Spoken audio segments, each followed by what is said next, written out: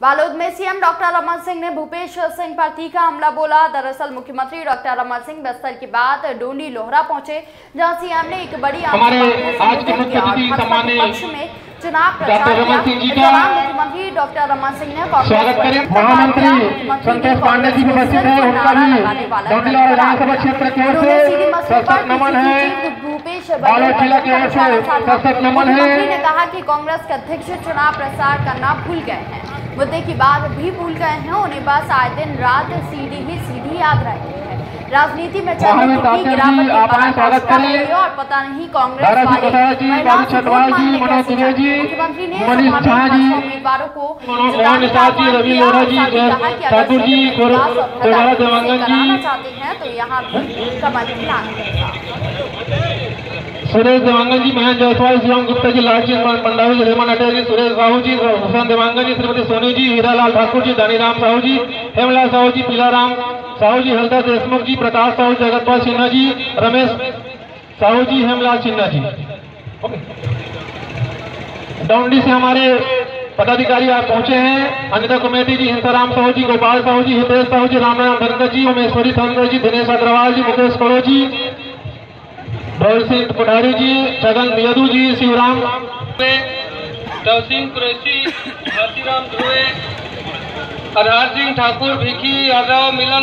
द्वारा मैं चुनाव अभियान में आया हूँ लाल महेंद्र सिंह टेकाम के चुनाव अभियान में और भारतीय जनता पार्टी का चुनाव अभियान लगातार जारी है बस्तर से लेकर सरगुजा तक और मुझे खुशी है कि जिस प्रकार का रिस्पॉन्स पूरे छत्तीसगढ़ में मिल रहा है भारतीय जनता पार्टी बहुमत के साथ जीतेगी और कांग्रेस के पास मुद्दे नहीं हैं। कांग्रेस के पास नेता अपने ही में उलझे हुए हैं और मुझे इस बात के लिए कहते हुए खुशी है कि विकास जो पंद्रह साल में हुआ है उसके साथ छत्तीसगढ़ की जनता सर दुर्ग संभाग में हेमचंद यादव जी थे। अब वो नहीं रहे तो क्या इनकी पूर्ति दु- गुंडरदी संविधान से किया जाएगा सर? गुंडरदी संविधान से?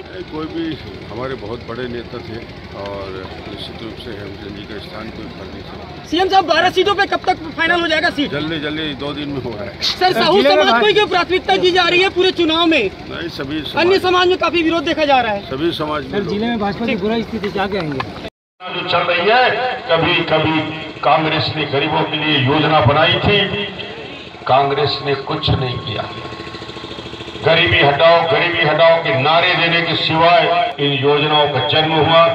गरीब के लिए, बेहतरी के लिए, उनके शिक्षा के लिए, उनके चिकित्सा के लिए योजना बनी।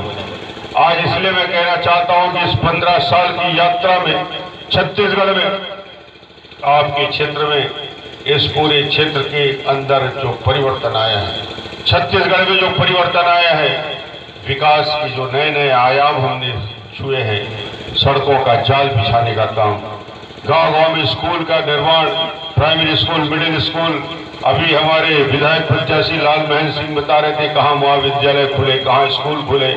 संतोष जी बता रहे थे सड़कों का कैसे जाल बिछाने का काम, इस क्षेत्र में करने का काम हुआ। ये हमारी गाँव गरीब और किसान की प्राथमिकता छत्तीसगढ़ में किसानों के लिए नारे लगाते रहे। किसानों के लिए उन्होंने कभी कुछ काम नहीं किया। हमसे कहते रहे कि किसान को धान का कीमत इक्कीस सौ देना होगा। कांग्रेस के मित्रों, तुमने तो नारे लगाए। हमने किसानों के लिए योजना बनाई। आज किसानों को पंद्रह सौ पचास रुपया धान का कीमत, दो सौ रुपया समर्थन मूल्य मानी प्रधानमंत्री जी ने। दिल्ली में बढ़ाया सत्रह सौ पचास, तीन सौ रुपया का बोनस छत्तीसगढ़ सरकार ने किया। आज दो हज़ार पचास और अस्सी में धान खरीदी एक तारीख से हम कर रहे हैं। ये है सरकार।